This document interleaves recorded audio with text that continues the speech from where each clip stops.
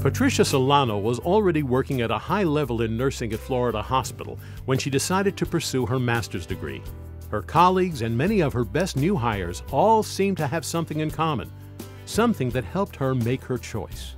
The nurse leaders that I knew who had gone through the UCF College of Nursing Master's Program were extremely well prepared for their role. They were leading at the state level, some at the national level.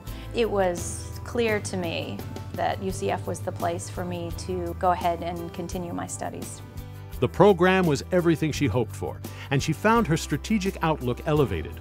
The faculty helped her balance her home life, career, and education since she continued working while in school, and the curriculum gave her the kind of perspective she needed to advance her position professionally.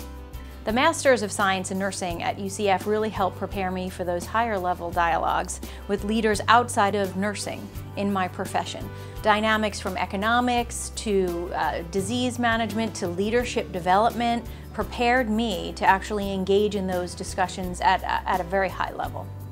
She now serves as Chief Nursing Officer and Vice President of Clinical Services for Florida Hospital Orlando and her education helps her effectively manage one of the largest nursing workforces in the state.